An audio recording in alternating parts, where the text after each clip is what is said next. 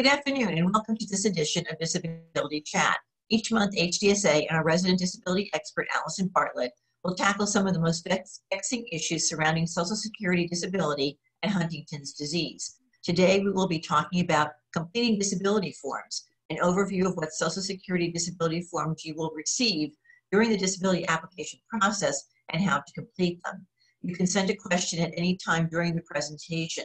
Just click on the chat function in the toolbar type your question, and hit send. Your questions can't be seen by others, only by HDSA.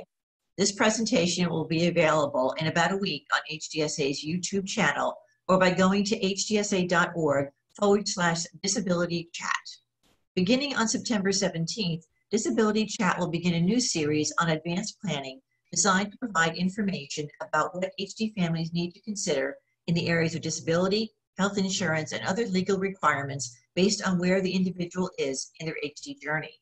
On our September disability chat will focus on what at-risk and gene-positive individuals need to know to prepare for prodromal presymptomatic HD.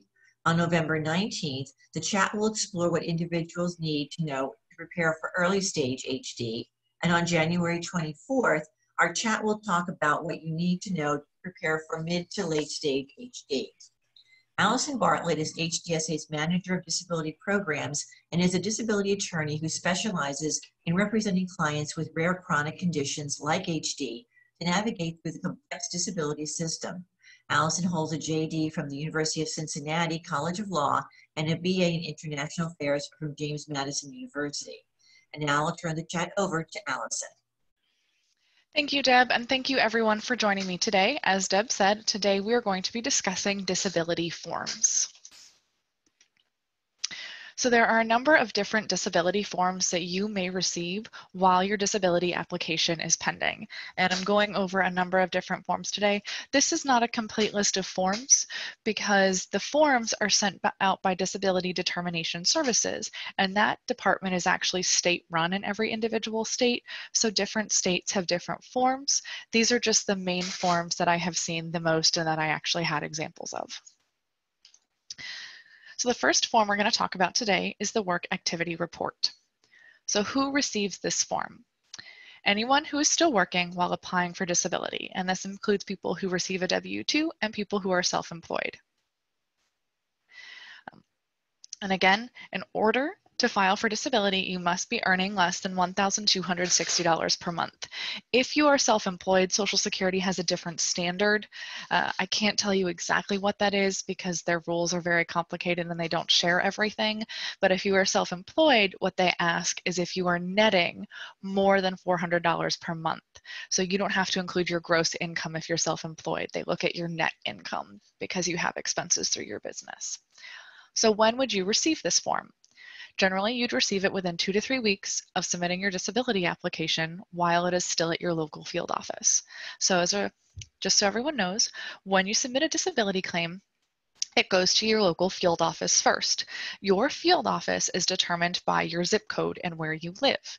The field office processes all of the financial information. They make sure you have work credits and they make sure you're not working over the limit. Once they've determined the non-medical requirements are met, then they send your case to Disability Determination Services. So this is the only form we're going to talk about today that you would receive before your case gets sent to Disability Determination Services.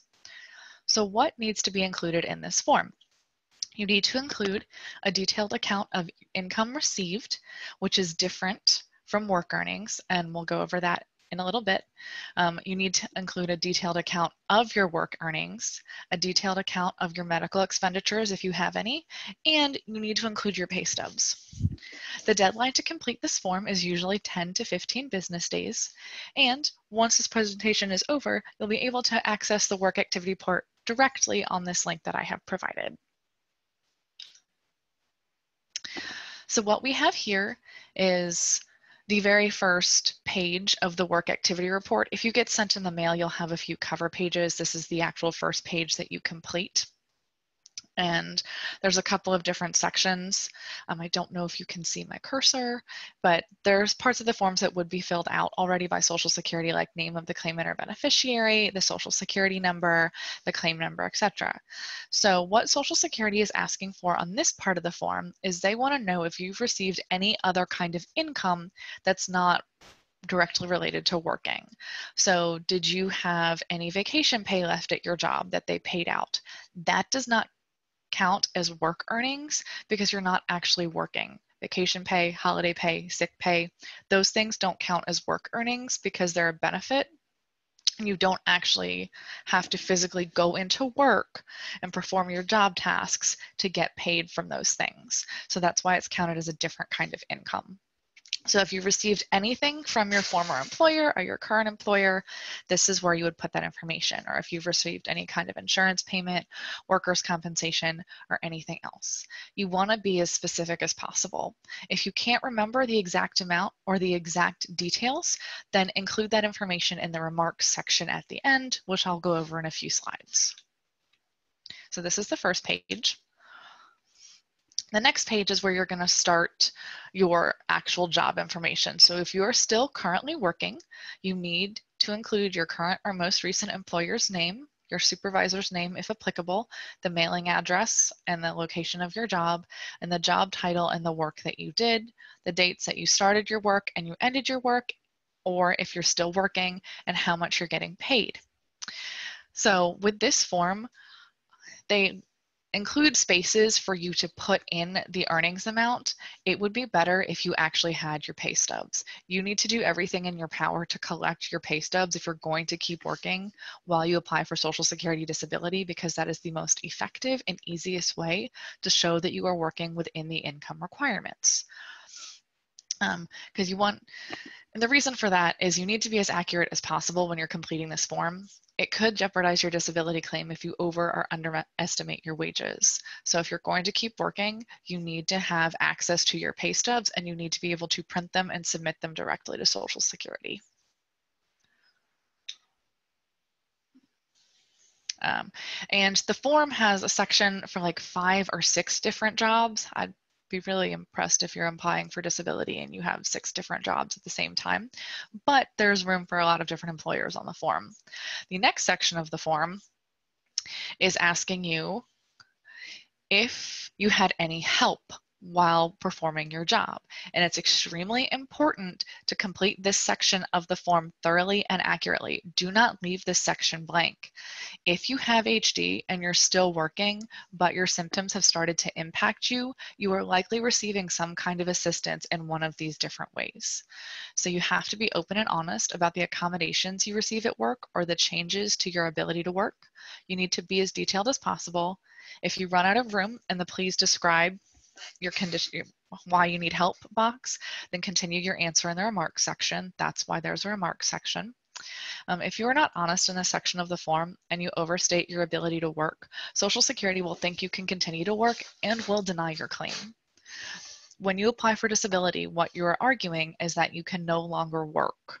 You no longer have the ability to work full time without assistance or accommodations, and that's why you should be found disabled. So if you say, if you don't check any of these boxes, and you say you can work normally and you can perform all of your job tasks just fine and you have no issues, why would Social Security find you disabled? Why would they have a reason to find you disabled? For a lot of cases, especially in my experience with families with HD, HD individuals who do work tend to have fewer or easier job duties than other people. They're allowed to produce less work than other workers. Um, they take more rest periods than other workers. So those are some of the things, uh, they work a regular fewer hours than other workers. Like those are some of the things I see commonly. And so if that's the case for you, you need Social Security to know that because they're trying to find if you can actually work or not. And they won't make an accurate decision if you don't give them all of the accurate information. Um, another section on the form.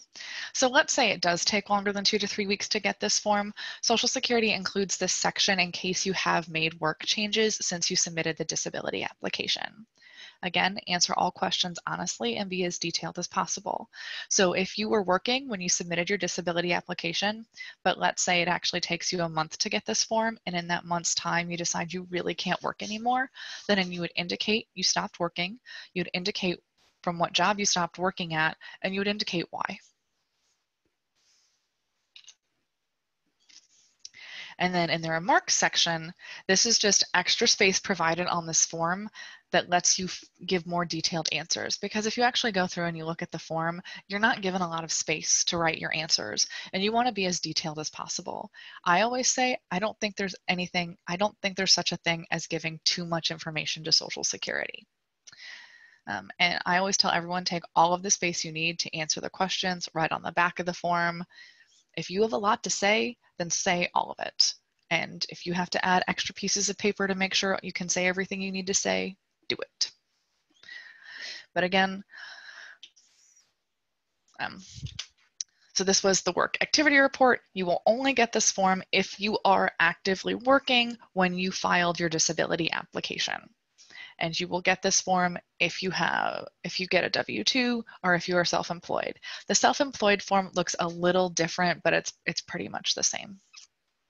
And if you have questions about how to fill out this form, you can contact me directly or you can contact Social Security because if you've oh my goodness, if you've been sent this form, it means you've been assigned a caseworker in your field office, and you should contact your caseworker directly, especially if you have questions about when the form is due or if you need an extension.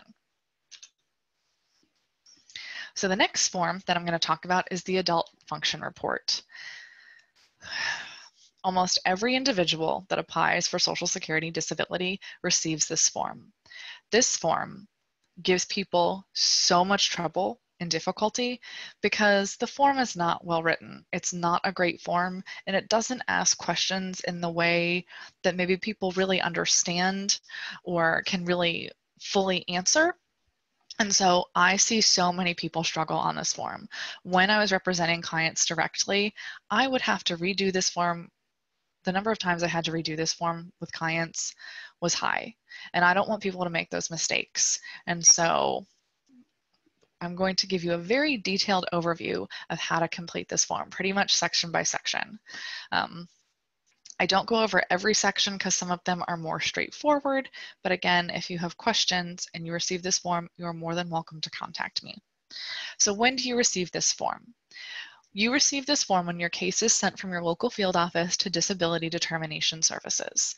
Usually, in a lot of cases, it's automatic. So as soon as your claim is sent over to DDS, before anyone at DDS even looks at your case, you'll get sent this form to complete and send back. And the reason you get sent this form is because Social Security wants to know about your activities of daily living. Often, your medical records don't really include how your symptoms and limitations of your HD impact your activities of daily living.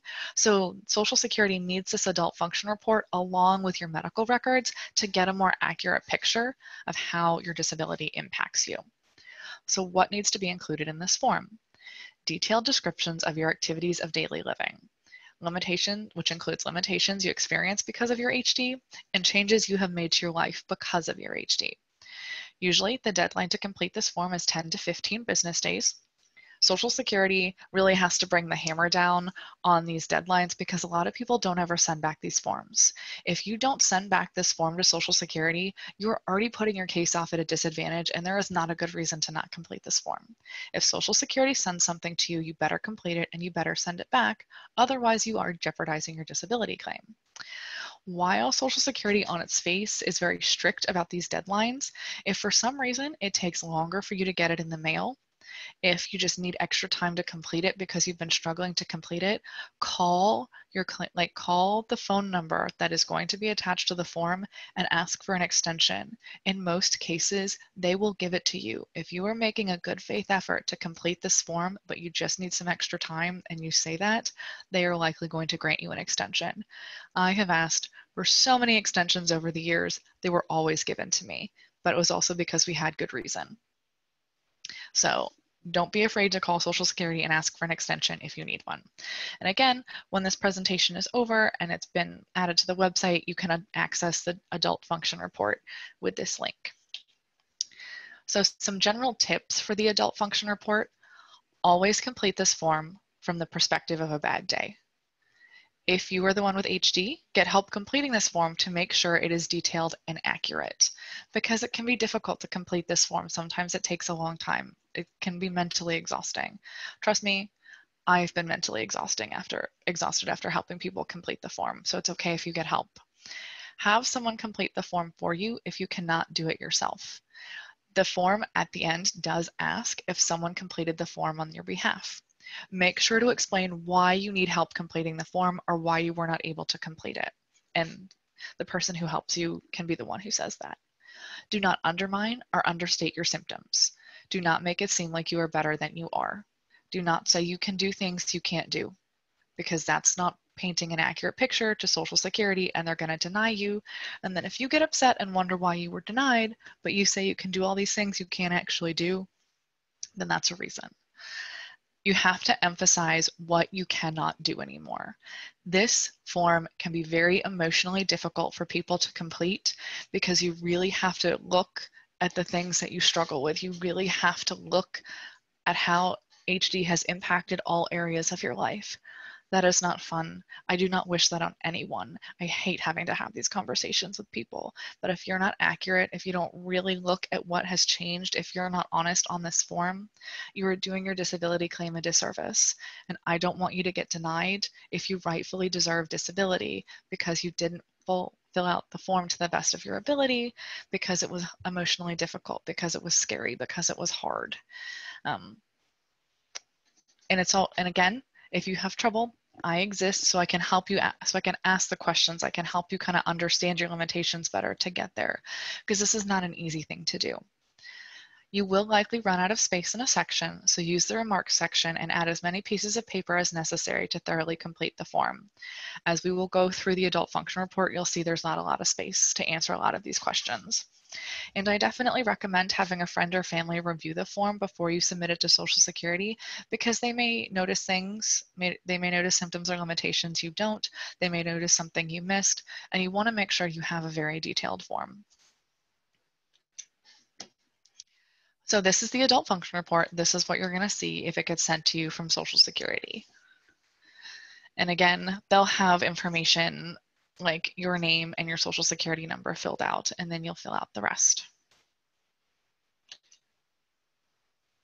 So the very, so this question is from page one. Um, people start having issues from the moment they start completing the form. So the, how do your illnesses, injuries, or conditions limit your ability to work? In my experience, this question is not answered with a lot of detail or it's not answered accurately um, so you always need to include why you were not able to perform to work or perform activities because of your HD. So I have two examples. Example one, my HD has made it impossible to work or do anything else. This terrible disease has impacted every area of my life. Okay, does that tell you anything about that person's symptoms or limitations? Do you have any actual idea why that person can't work? I can't, I don't. So if I worked for Social Security, what am I going to actually understand about this person? Nothing. So then we have example two. My HD caused me to stop working because I couldn't keep up with my job tasks. I forgot how to perform parts of my job that I had done for years, like, and then I would give good examples. Um, as an attorney, maybe I would say I forgot how to perform job tasks like I had trouble writing briefs that I had always written, or I had trouble utilizing the research databases that I had used for years. And I started having issues getting along with my coworkers. Working eight hours a day is too much for me now. I have to take multiple breaks during the day because I cannot concentrate on my job and I get brain fog. I'll leave it up to you to decide but really one of these answers is much better than the other and provides a lot more detail. Social Security is never going to see you face to face. The people who are reviewing your claim will likely never see you. So everything you want them to know, you have to write on paper.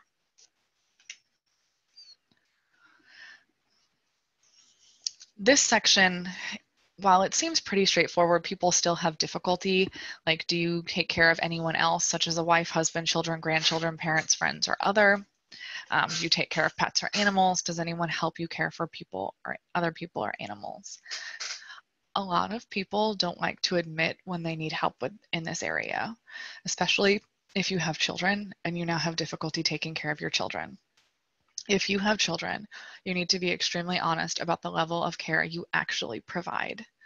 Do not include tasks if you cannot do them anymore. If you only provide love and emotion and emotional support, it is important to indicate that on this form. You need to say things like that. If you need help preparing meals for your kids, you need to indicate that.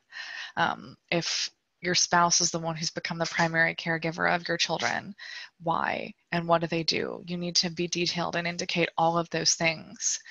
Um, and I know this is especially hard for moms, but this is something that resonates a lot with Social Security. It resonates with the individuals at Social Security, it resonates with judges. Like, because if you now struggle to take care of your children because of your HD, that's a huge indicator that you also cannot work. And nobody wants to admit that. No one ever wants to have to say that. But in this context, because the only people who can see your claim are Social Security, they cannot release this information to anyone else. They cannot release it to any other government agency. The only people who are going to see this is Social Security, and they need to have the full truth. If you have children or pets that you help take care of, I would always check yes that you need help caring for them because help comes in many forms. It comes in daycare, babysitting, friends or family members coming over during the week, after school programs. There's a lot of different things you may not think on the surface are help, but count as help. If it means you get a break from taking care of them or you get time to do something else that you need to do, it just, it all counts as help. And you do have to stress what you cannot do even if it is emotionally difficult to discuss. this is my favorite question on the adult function report. That's sarcasm, if you couldn't tell. Um, this question trips up so many people. So many people check they have no problems with personal care. Under no circumstances should you ever check that box. And if you can check that box because you have limitations with personal care, then there may need to be a discussion about why you've applied for disability in the first place because it might have been too soon. So in my professional legal experience, by the time someone's submitting a disability application, they have some kind of limitation with personal care, even if it seems something that's so minor. So if you have difficulty using buttons or zippers, that's enough to put on the form. So you have trouble getting dressed, or maybe now you have to sit down because your balance is a little off and you don't trust yourself to put on pants while standing up. Maybe you have to put sit down to put your shoes on now. Maybe you had to switch to Velcro shoes because you have trouble tying your shoes or you just wear pull-on shoes. If you have trouble brushing your hair, if you need reminders to bathe or shower, if you need a shower bar or shower stool, and I know that's might seem more advanced, but like things that we consider to be little things still matter. Maybe now you use have to use a specialty toothbrush because you can't use a traditional one because you drop it. Can you shave yourself? Or do you have help have to have help? You get someone else to shave you now? Have you grown out your beard because you have trouble shaving? All of those little things matter and they all add up. So it's important that if you've submitted a disability application that you do not check the box that you have no problems with personal care because you likely have made some even if they are minor changes and those need to be included in this section. Um, so next questions I've seen issue with, do you need any special reminders to take care of personal needs and grooming or do you need help or reminders taking medicine? Check Yes, if you use any kind of reminder, including but not limited to a pillbox, a phone alert, a calendar, or a spouse or family member. I admit I use my phone all the time now for reminders. So, yes, I need help with reminders. And that's something that I think like we kind of because it's become a common occurrence to use our phone with these things, we don't necessarily think about it. But if you're using your phone for reminders of any kind, if your spouse or family member has to help you with things a lot, that needs to be included in this form. Meals. This is another section that definitely trips people up. So do you prepare your own meals? You need to be very specific about the meals you prepare and eat. Cooking a meal from scratch is very different from reheating leftovers, eating cereal, or um, heating up a frozen meal from a box. So give details. Or maybe now you only make smoothies. Or maybe you used to make big meals for your family, but now you can only use a crock pot. Or now maybe you burned yourself using the stove, so you only feel comfortable using the oven. Those are all important details. Um, you need to be specific about how your ability to cook has changed if it has. Can you follow a recipe from start to finish? Does it take longer to cook? Do you have to cook simpler meals? Do you forget to turn off the stove or oven? Have you had any cooking accidents? Like have you cut or burned yourself? And then if say and it's maybe you never like to cook in the first place fine there are plenty of people who don't like to cook um, but maybe if you didn't like to cook in the first place for one set of reasons but now like you also know like i don't like to cook but i also now i know i couldn't cook because of these things that's important to include too so again, being as detailed as possible.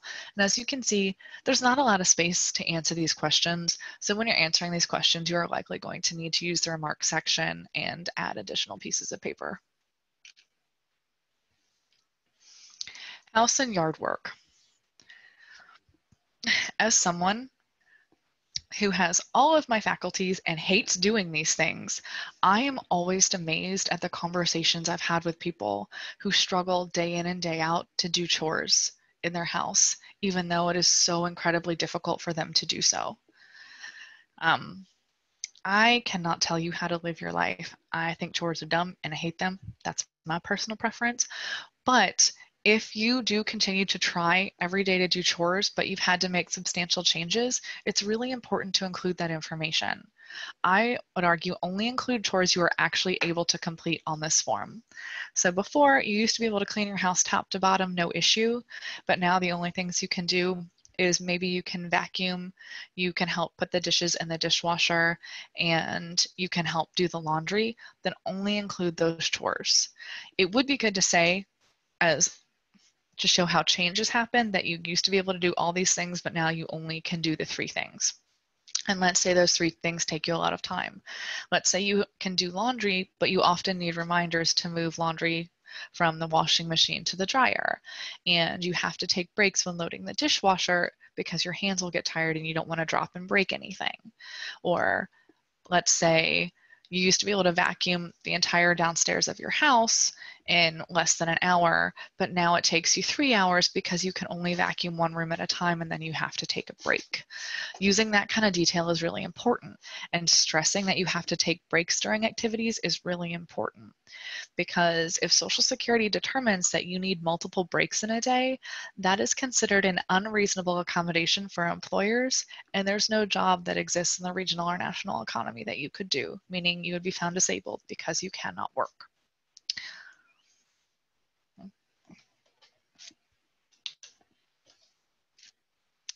Um, another question that people have a lot of trouble with 17 are you able to pay bills count change handle a savings account or use a checkbook or money order? Only check no to these things if you're having cognitive difficulties with any of the items listed above. Social security is not interested in your inability to pay because you do not have money. This question is really asking if your cognitive ability to do these things has changed and Social Security asks these questions to determine if you are capable of handling your own funds. If they think you cannot handle your funds safely, they will recommend a representative payee. So that's why they ask these questions and that's why it matters. Um, if your ability to handle money has changed, you really need to explain how and why. Maybe you're not able to use a credit card because you overspend and you've racked up a lot of debt and you can't manage it or keep track of it because out of sight, out of mind. Um, maybe you have trouble making change when you pay cash and you can't pay in cash anymore. Um, there are a lot of different examples. There's a lot of things I've seen over the years. So be detailed and specific.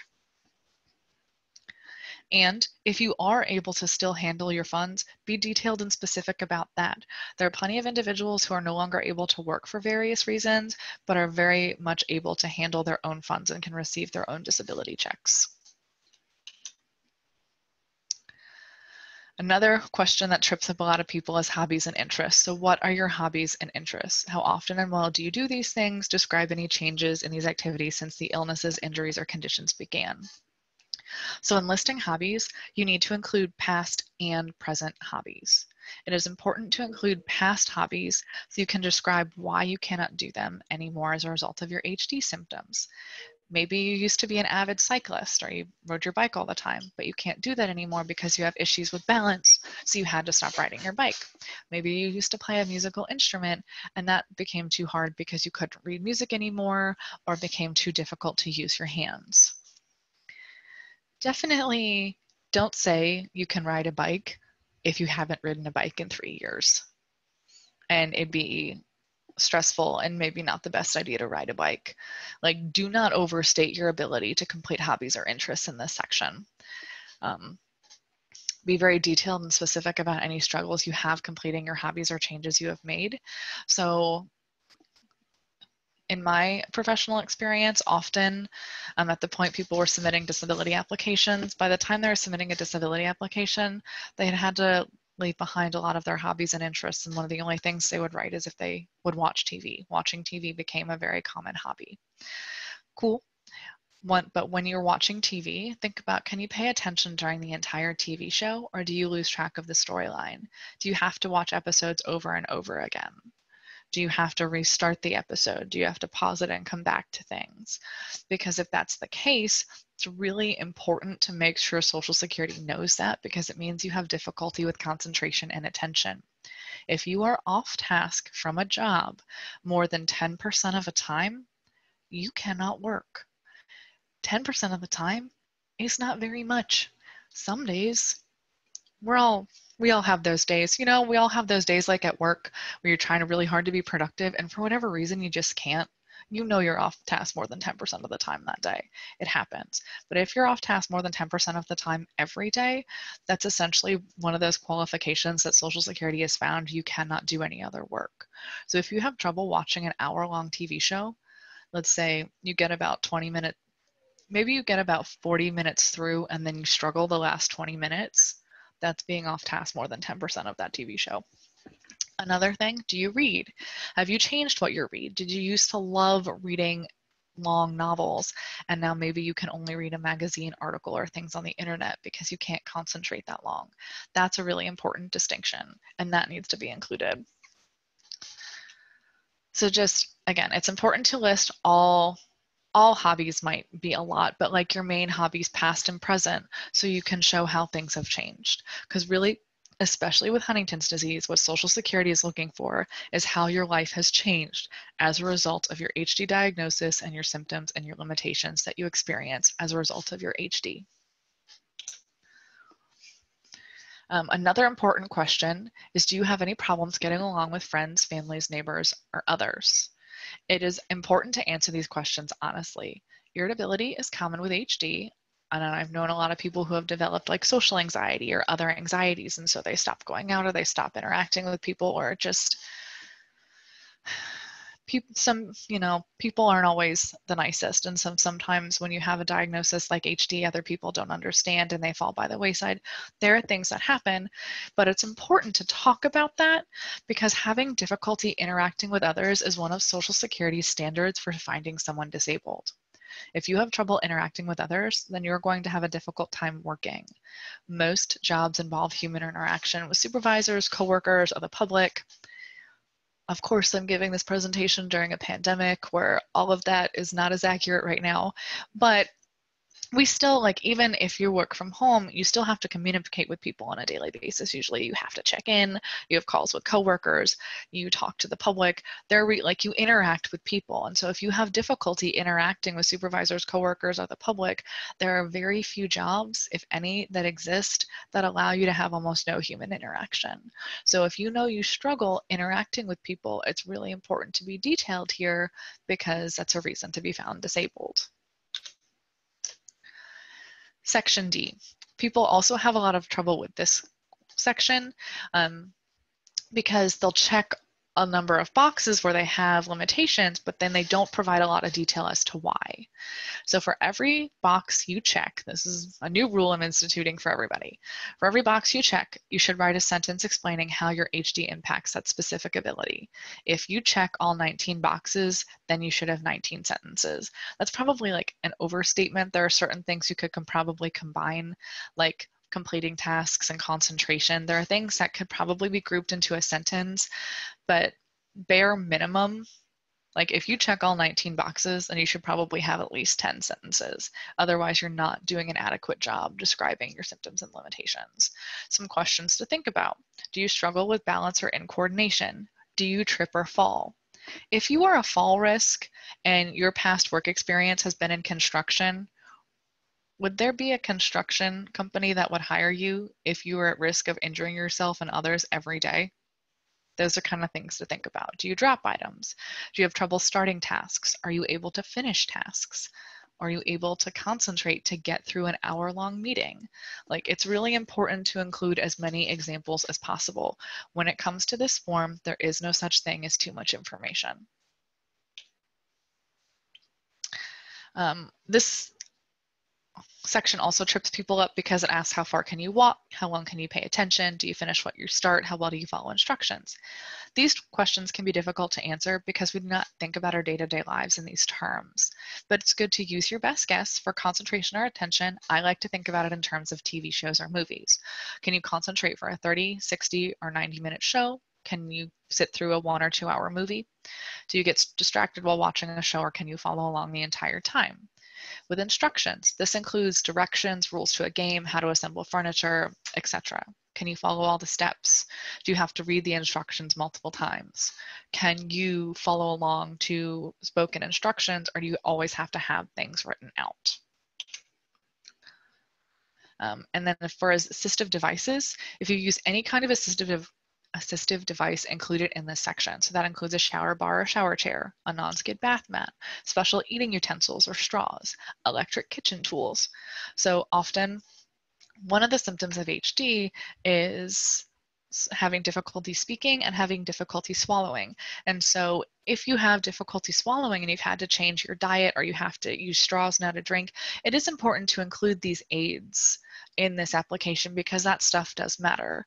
Um, if you used to always use a hand can opener, but now you have to use an electric can opener because you can't. So you have to have a machine do it for you. It's important to say those things. There are a lot of accommodations people make in their lives when they have a disability. And because it becomes their new normal, they forget about it. That's why I recommend having someone help you with this form because that isn't their new normal. So they can be like, hey, well, don't you do this thing? Isn't that different than what you used to do? It's really it's all about the little differences because it's all the little things that can add up and make a huge difference. You don't have to say like you can't walk anymore. It doesn't have to get to that level. You don't have to say you can't remember anything anymore. Like that's not the standard. It's all the little things that go together to add up to find someone disabled. And then another important thing is if you are taking any medications and you have side effects, include all of the medicines and side effects. Social Security considers your side effects as part of your impairment, so it is very important to include all of the side effects caused by your medications. Not necessarily as relevant to Huntington's disease, um, but there were some disease states that I helped with where people would have to take a diuretic. A diuretic makes you go to the bathroom a lot. And that's a negative side effect. And so let's say you have to go to the bathroom at least once an hour every hour during the day.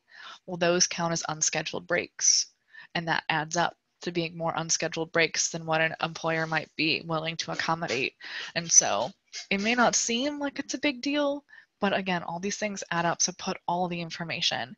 You may not think it's relevant, but you, what you think isn't what's really important. It's what Social Security thinks when it comes to a disability application. Here's their mark section. Again, there's not a lot of space here, so if you're filling out this form thoroughly, you should be writing on the backs of pages or adding additional pieces of paper. Um, and again, if the person with HD is not able to complete the form, indicate who completed the form and why the person with HD needed help. The next form is the third party adult function report. So this pretty much looks exactly like the form we went over, but it's going to be sent to a friend or family member of someone who applied for Social Security disability. Again, this form gets sent out when the case is sent from the field office to DDS. What needs to be included in this form? all the same things, detailed descriptions of the HD individual's activities of daily living, their limitations they experience because of their HD, and the changes they have made to their life because of HD. Again, deadline 10 to 15 business days, and you'll be able to access this form when this presentation is posted. The same tips apply. Um, Again, this form is exactly like the adult function report, but it's asked from a third person perspective. So instead of what can you do, they'll ask, what can he or she do? Like, uh, so if I'm the one who applied, if I, Allison Bartlett, applied for disability, the adult function report, it would ask what I can do. If somebody gets the third party report, it'll ask what can Allison Bartlett do? Um, and one thing that's important is the person with HD will not see this form. Like it is sent directly to the third party individual and sent back to Social Security. And I know there are experiences, there are, there are circumstances where someone with HD may not have a lot of awareness or insight into their condition and they may not be willing to talk about it. They may get angry, they may get upset. Um, in the third party form, like this is not something you have to show them. And if in order for you to be honest, you can't show them the form, then don't show them the form because if they really need disability, it's important to be honest. Otherwise, you could just, oh my gosh, jeopardize the disability claim. I would like everyone to say jeopardize the disability claim five times fast because you will likely mess it up too. Um, but again, here's an example of a third party adult function report. As you can see, it looks very, very similar.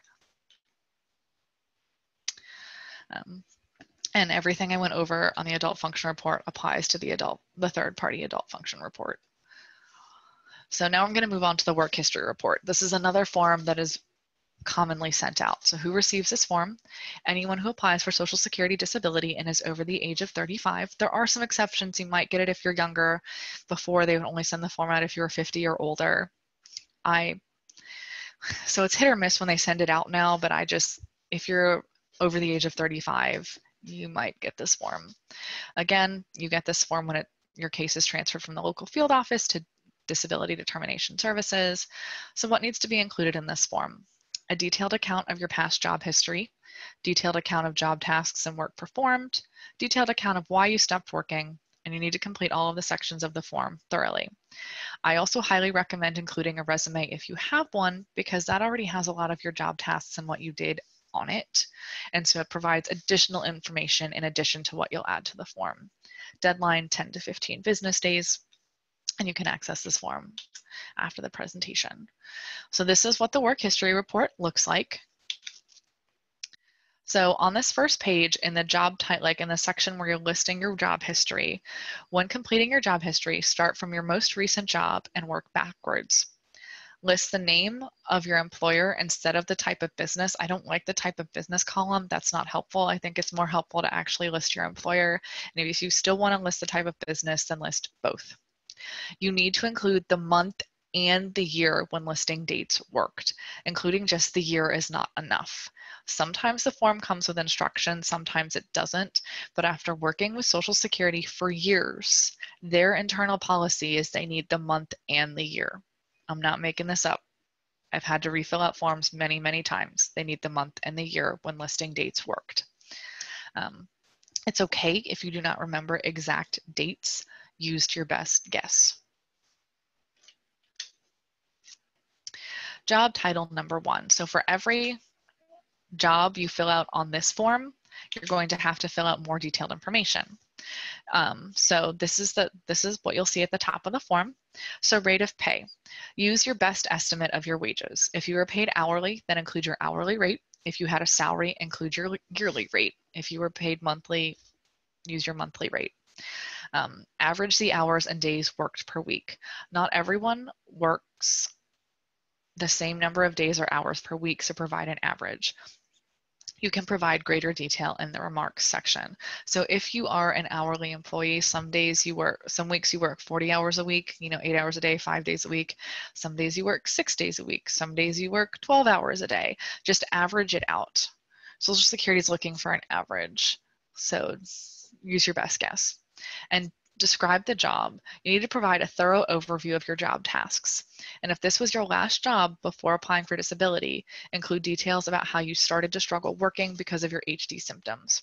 And utilize the remarks section if you need more space. It is really important to list all your job tasks and then, be, and then say, I started having trouble with these tasks in these areas in this way, and that's why I decided to stop working, or that's why I was fired, or that's why I was forced to retire. Social Security needs that information. So this section of the work history report trips up so many people because Social Security doesn't always include their instructions. Aren't they wonderful? Um, so we're going to go over this today. In the so in your job, did you use machines, tools, or equipment technical knowledge or skills did you do writing, complete reports, or perform duties like that? Almost everyone uses some kind of machine, tools, or technical knowledge in their job, so at least one box should be checked. Like, did you were you trained to use a cash register? Did like most jobs require you to have some kind of knowledge, skill, or use equipment. Um, so for most people, one of those boxes should be checked yes. And then in this job, how many hours each day did you blank? This section trips up so many people. It's not clear the way this is written out. Like Social Security needs to do a better job with this form, but they don't. So that's why we're having this conversation today. So really this needs to be broken up into three different sections. So in combination, it should be how many hours did you walk, stand, or sit? And that should equal eight hours or the average number of hours you worked per day. So if you had a predominantly sedentary job, let's say you sit seven hours a day, you stand half an hour, and you walk a half an hour. That's all one section. And then in combination, how many hours do you climb, stoop, kneel, crouch, or crawl? At most, this should equal eight hours a day or an average number of hours you worked per day, but this can be less. If you have a sedentary job, you're not likely climbing, stooping, kneeling, crouching, or crawling very often. As a disability attorney, I really never do those things. And the one time last week I stooped under my desk, I banged my head on my desk. So I will try to avoid stooping from now on. Um, and then the last thing in combination, how many hours do you use your hand to hand oh do handle grasp or grab big objects reach write type or handle small objects this is something that should equal eight hours a day because most of us in our jobs are doing some combination of this. So walking, sitting, standing should add up to eight hours. Handling, reaching, writing, typing, or handling small objects should add up to eight hours. But climbing, stooping, kneeling, crouching, and crawling, depending on the nature of your job, can add up to eight hours, but it's possible you do those things for less than eight hours. And if you have more questions about this, you can always give me a call. And then lifting and carrying, Social Security always wants to see that this section is filled out. You need to be specific about what you lifted and carried, including if you do not lift and carry anything at all. So I used my job as an example as a disability attorney. I rarely lifted and carried items. I carried my computer to hearings, and when I participated in education days, I carried paper resources that did not weigh more than 10 pounds. So I would say check the heaviest weight lifted is probably 10 pounds, and check weight you frequently lifted would be less than 10 pounds. So if you didn't really lift things as part of your job, say that. Otherwise, be specific about what you lifted and carried. If you were something like a nurse or a doctor or an EMT, um, lifting people is something that happens a lot. Be specific if you lift like but in most of those cases, you're not lifting them alone. So yes, you maybe lifted a 200 pound person, but if it was a gurney, if there were three other people involved, it's important that you say that. You don't want Social Security thinking you can just go around lifting 200 pound people every day, all day. And then last part of the job section, do you supervise other people in this job? It is important to include details about your role and job tasks as a supervisor or lead worker if that was that's the role that you had and to add more detail in the remarks section. You want to include if you now have any kind of difficulty working with others or include if you had any altercations with coworkers, supervisors, or customers. Um, and Social Security gives you like eight pages. You can fill out the detailed information for up to eight jobs. And then again, just here's the remark section. If you need help completing the form, this form can be completed by someone other than the person filing for the disability claim. And always use the remark section to the fullest. Like this thing should be filled up. You should never submit a blank remark section. Um, so another questionnaire that you could get is a physical limitation questionnaire. Who receives this form? Certain states send out this form to individuals who applied for Social Security disability and allege physical limitations. Physical limitations is something that is common with HD. This specific form um, is from Illinois. I don't know what other states fill out, like send out this form. I'm sure there are other states, but I know this specific form is specific to Illinois. When do you receive this form? When your case is sent from the field office to DDS. What needs to be included? Again, detailed descriptions of your physical limitations when completing activities of daily living, limitations you experience because of your HD, and changes you have made to your life because of HD. Deadline to complete, 10 to 15 business days. Um, so the physical limitation questionnaire, be as thorough and detailed as possible. This questionnaire is only two pages long, so it's a really, it's brief. It's sent along with the adult function report. Um, and it's just asking more specific questions because the adult function report is really general. So you want to provide examples of instances you have struggled with any of the tasks included and write on the back of the form if you run out of room providing your answers. I filled in some examples. The form specifically says to only fill in things that you have trouble with. So using kitchen tools. I do not use knives anymore because I drop things a lot. My grip has also gotten weaker, so I have trouble using a can opener. Um, dialing the phone, picking up a coin, using a pen or pencil. This should probably also include using a cell phone, but these forms have not been updated in a very long time because, you know, just like Social Security is antiquated, so are all their forms. Um, so it is important that even though it doesn't say anything about a cell phone to include issues that you may have using a cell phone. So as an example, I have trouble holding pens and pencils. My hand starts to hurt after 30 minutes and my handwriting is terrible. I have trouble texting and I hit the wrong letters a lot. Like again, if you have trouble using your cell phone, if you have trouble typing, that is all stuff Social Security needs to know. Um, another example, carrying bags or groceries. I used to be able to carry five to seven full grocery bags at a time, but now I can only carry one in each hand because I drop things and my hands are weaker. So these examples provide detail. Like it says what your lim what the limitation is and how it's impacting them. Um, this is the second page. So if you are unable to sit for more than two hours at a time, that is a huge indicator to Social Security that you would have trouble working. So if you have trouble sitting for more than two hours, be very specific as to why. Um, and if you have to take multiple breaks during the day, that is also a huge indicator to Social Security that you would have trouble working. Multiple breaks per day is considered an unreasonable accommodation for employers, so no one would have to hire you, which means you couldn't work. That's like some of these questions may seem silly, they may get repetitive, but there's a reason Social Security is asking them. They have very specific criteria that they're looking for. So if you have trouble sitting for more than two hours at a time, you have to stand up and walk around. There's a number, like maybe you have to lay down, maybe sitting up is physically exhausting. Like whatever the reason, if you fall into any of these areas, be as specific and detailed as possible.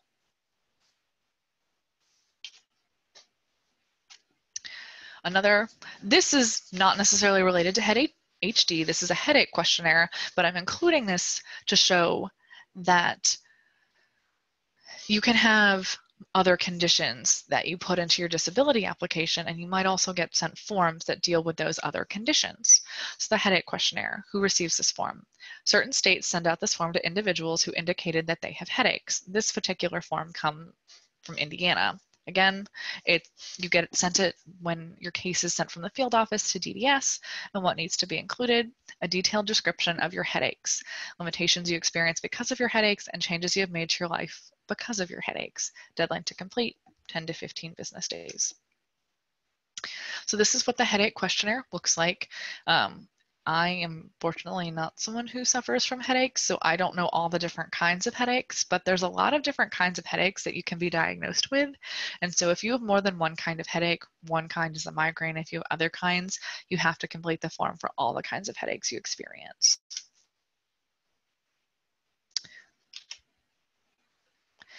Mm-mm. Yeah, and this form is pretty straightforward because it's asking very specific, detailed questions. So just answer the question. How long does a typical headache last? If it lasts anywhere from two to four hours, you need to say it lasts anywhere from two to four hours. Like just be as specific and detailed as possible.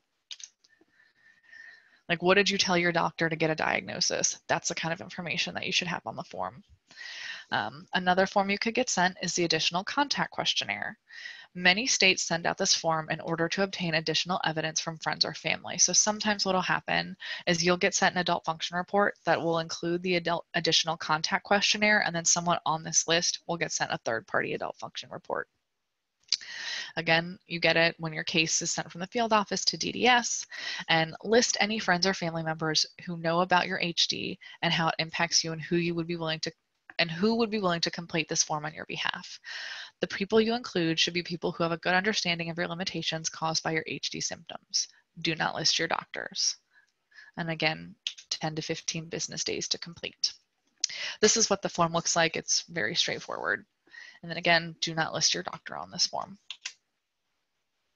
And some other questionnaires I've seen over the years in client cases, but I couldn't find examples of pain questionnaires and anxiety questionnaires. So these questionnaires ask specific questions related to your pain that you may have been diagnosed with. What if you have chronic back pain? Um, you've had issues with your spine, you have leg pain, whatever reason, like if you indicate that you have chronic pain in your disability application, you might get this questionnaire. If you indicated that you've been diagnosed with anxiety, you might get an anxiety questionnaire that's asking specific questions about your anxiety, how it impacts you, what symptoms you're experiencing. And so the same level of detail we've talked about in all the other forms need to be included in forms like this as well. So general tips. Do not lie on these forms. Under no circumstances do you ever lie on these forms. Do not overstate your limitations. Do not make it seem like your HD symptoms are worse than they are. And do not understate your limitations. Do not make it seem like your HD symptoms are better than they are. The symptoms and limitations that are described in these forms need to be similar to the symptoms and limitations documented in your medical records. And this is why it is important to be honest with your your doctors about your HD symptoms and limitations. No, you don't have to like get a copy of your medical records and look at what your doctor says to make sure it all matches up, but it's just it's important to make sure that you're telling everything that you tell your doctor. Like everything you want to include in the form is also what you tell your doctor. Because if you don't if you fill out the form amazingly and it's super detailed, but you've never told half that stuff to your doctor, Social Security is going to get skeptical because they're going to say, well, you think you're worse than you are, but your doctor says you're not that bad. And they do compare those things. So it's important to know that. Um, the deadline, they again, Social Security is strict on the deadline. The deadline starts from the date on the letter. So not the date you received the letter, the date Social Security puts on the letter. And so if for some reason the mail is really slow or your letter gets misplaced or you get the letter and you only have two days to complete the form, call Social Security and ask for an extension. Let them know, like, hey, this letter is dated this date, but I literally received it today. In those circumstances, they're likely going to grant you an extension. And call the number on the form, not your local field office or the national number. They can't help you. Once your case is sent to DDS, the field office can't help you. And the more information you provide on the form, the more helpful the form will be to your case questions. Okay, well, that was absolutely fantastic, um, Allison. I certainly learned a great deal about applying for disability and we'll be able to answer some questions that uh, come to me. We do have uh, two questions. The first is um, uh, regarding a pension. Does a pension count as income? My husband worked for the FAA and has to retire because of HD to earn a disability retirement, he has to apply for Social Security. So a pension does count as income, but it doesn't count as work earnings. So you or your husband would be allowed to apply, like to get his pension and apply for Social Security disability. Those two things don't impact each other. Okay. Uh, another question um, is uh, about um, my husband worked in his last job for 30 years. Does he still need to give detailed information for the jobs he had before then?